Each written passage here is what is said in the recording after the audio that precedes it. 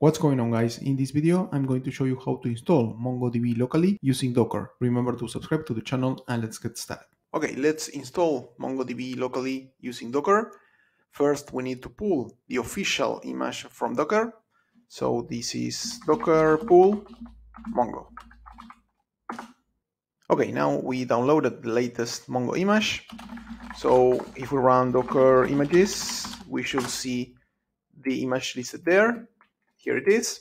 And now we can run a container using this image. So this is docker run. We are going to make this container run in the background. So this will be minus d.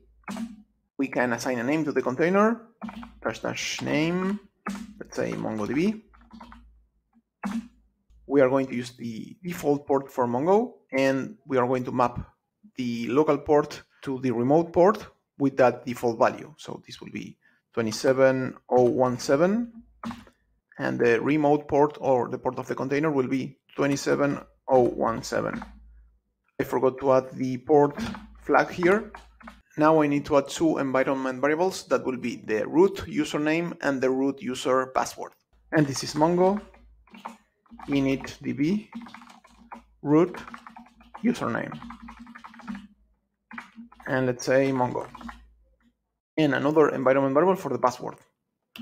So this is Mongo init db root password.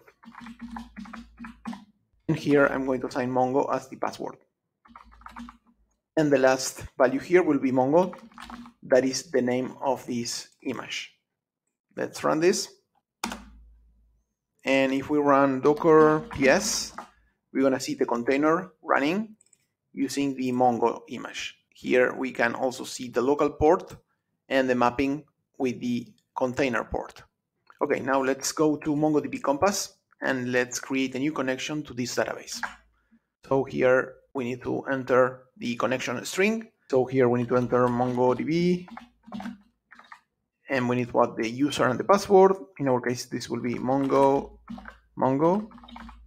And we need to add at and the host, that in our case is localhost, and the port, we are using the default one, so this is 27017.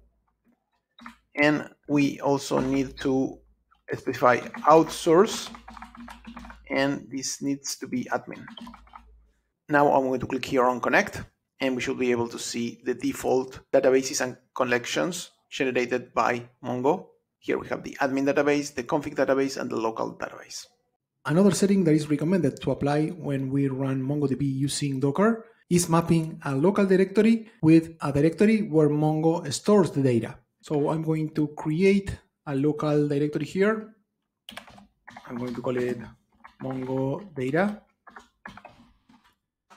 Now I'm going to run a Docker container with the Mongo image and I'm going to add a new flag here that is minus v V is for volume, where I'm going to add the mapping of that local directory with a remote directory in Mongo where the MongoDB instance is going to store the data. So the local directory is home Mongo data and the container directory where Mongo stores data is data slash db. Okay, now let's go to MongoDB Compass and let's create a database and a collection and we're going to see how the files are stored in our local directory. So I'm going to connect to the database, and now I'm going to create a new database in our local Mongo instance. I'm going to call it testing db, and the collection will be testing collection. I'm going to create database and the collection. And now if we go to the local directory, Mongo data. And here we can see all the data files for Mongo. Okay, now let's go back and let's create a new document within this testing collection. So I'm going to click here on add data, insert document, and just let's add some really simple document here, name, display test, and I'm going to insert this document. And now let's stop this container docker ps and Now docker stop, and I'm going to paste the container ID here. Okay, now if we list all the files within this directory, we're going to see that all those files are still there. So if I run the Docker container again, okay, and now let's go back to MongoDB Compass. I'm going to disconnect the database and I'm going to connect again.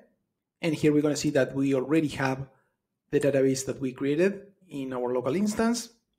As we can see here, we also have the collection and we also have the document that we added here. That's all I have for today. Thank you guys for watching and I see you in the next one. Take care. Bye.